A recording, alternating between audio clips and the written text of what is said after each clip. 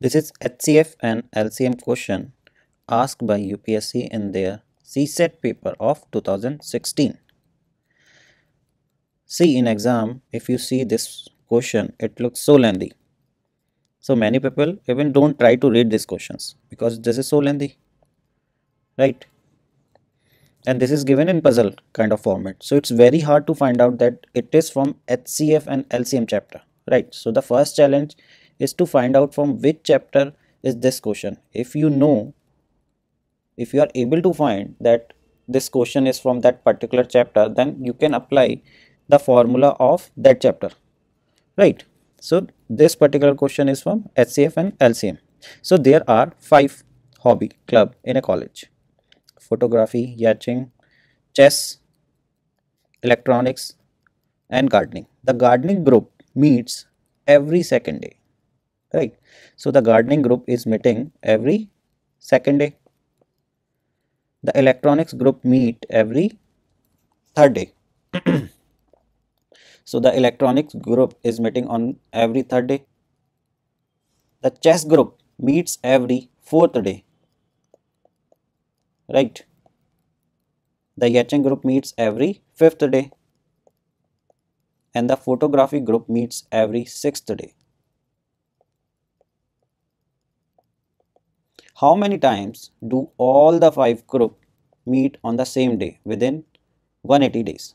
So this question in simple terms is he is asking that in 180 days how many times these people will meet together? Right? So what we have to do? We have to find HCF or LCM we have to find LCM right? So we have to find LCM of 2 3 4 5 and 6 right. So the LCM of this number will be let's use the factorization method. So what is the factor of 2 it will be 2 factor of 3 will be 3 factor of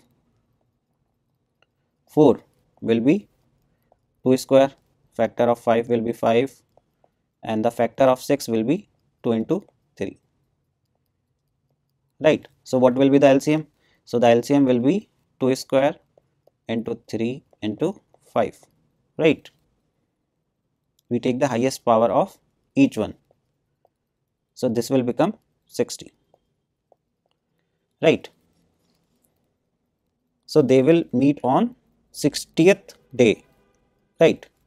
So how many times in 180 days? So just divide 180 by 60 so this will come 3 it will completely divide this.